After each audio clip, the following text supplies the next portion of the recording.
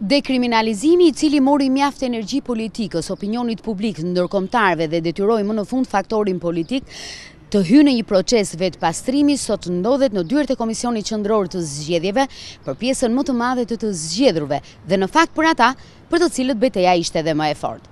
Ligji hyri në fuqi në shtatëmbëdhjetë janar dhe data katër maj ishte e fundit për vetëdeklarimin e formularëve në Komisionin Qendror të Zgjedhjeve për ministrat dhe deputetët dhe të gjithë të zgjedhurit vendorë.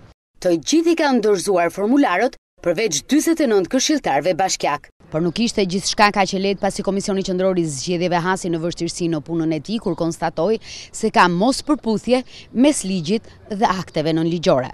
Ligji dhe vendimi vetë me njëri-tjetrin po t'i lexojmë ka aspekte të ndryshme të cilat kundërshtojnë njëra-tjetrën. Kuvendi e miratoi propozimin tonë dhe u mundua të organizojë një tryezë të rrumbullakët. Por ajo që ndodhi në këtë tryezë ishte fakti që legjislatorët të cilët kishin detyrimin të ishin pranë kësaj tryeze nuk u paraqitën pas dy mundësive që u krijuan për të krijuar këtë tryezë.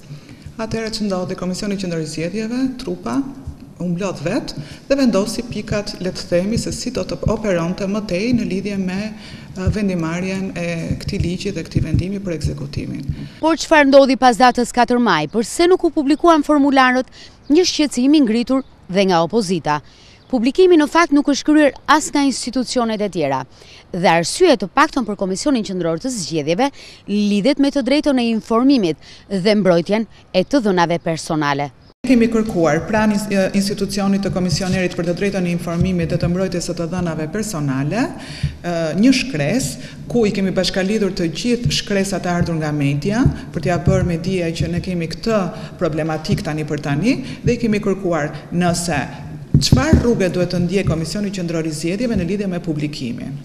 Dhe, ne jemi në pritje të kësaj përgjigje. Për të gjithë emrat e personave që kanë dorëzuar formularët e vetëdeklarimit, i kërkohet Zyrës së Gjendjes Gjyqësore informacion nëse dikush ka kryer deklarim të rremë, Komisioni Qendror i Zgjedhjeve merr vendim për heqjen e mandatit dhe personat, të cilët nga Zyra rezultojnë se përveç kësaj kanë dhe vepra penale, i dërgohen Prokurorisë për një verifikim të thelluar.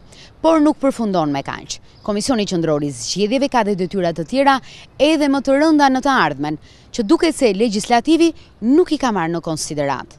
Dhe numri i kandidatëve shkon për zgjedhjet parlamentare gati në tetë mijë kandidatura, ndërsa në zgjedhjet vendore tridhjetë e shtatë mijë kandidatë, që do të thotë është një fluks shumë i madh pune për Komisionin Qendror të Zgjedhjeve. Por në pikëpamje të zbatimit të tij në praktikë, Ligji sigurisht ka nevojë të ndryshojë. Për shembull, partitë politike duhet të regjistrohen në KQZ shtatëdhjetë ditë para ditës së zgjedhjeve duhet të regjistrojnë kandidatët. A është ky një afat i mundshëm kohor që KQZ-ja, po, për që KQZ-ja të bëjë dhe verifikimin ndërkohë?